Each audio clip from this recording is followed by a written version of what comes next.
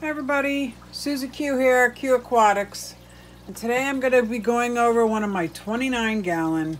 It houses these two angelfish, which, don't get them wrong, they are not a pair. and this little tiny black molly.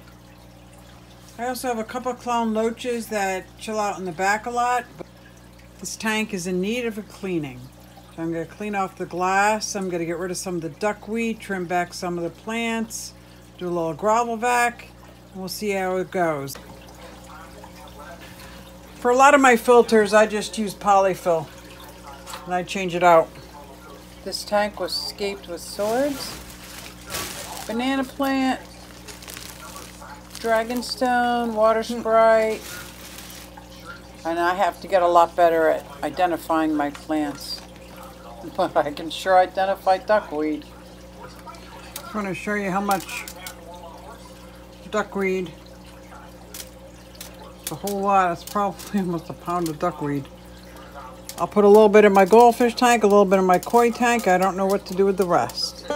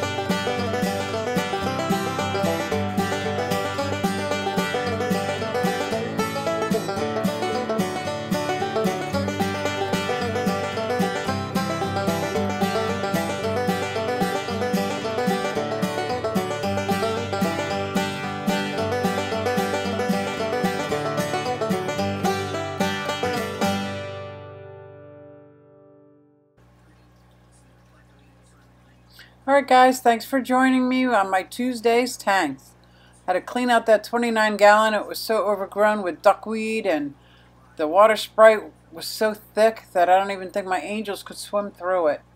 I hope you join me next week. See you then.